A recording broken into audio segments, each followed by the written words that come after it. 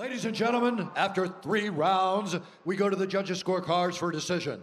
All three judges score this contest 30 27 for the winner by unanimous decision, Alex the Great White Morono.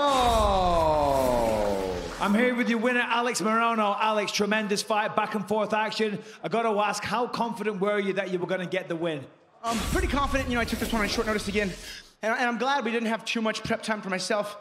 My longest training partner, Ricky Turcios, just won the Ultimate Fighter last week. I got one of my guys fighting tomorrow in Houston on UFC Fight Pass. Cameron Graves the week after that. Ricky's girlfriend's kickboxing. Three weeks after that, five of my amateurs, one of my black belts making their debut.